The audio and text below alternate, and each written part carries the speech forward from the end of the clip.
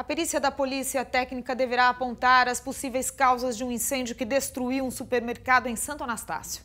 O dia foi de muito trabalho para salvar o que restou no incêndio. Grande parte das mercadorias foi destruída pelo fogo que começou cerca de uma hora depois que o mercado fechou, por volta das 8 da noite.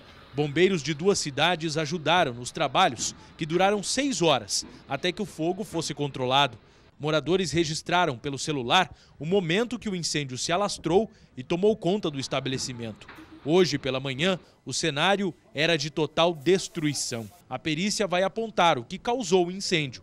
Por sorte, nenhum dos 60 funcionários estavam mais no mercado quando as chamas começaram.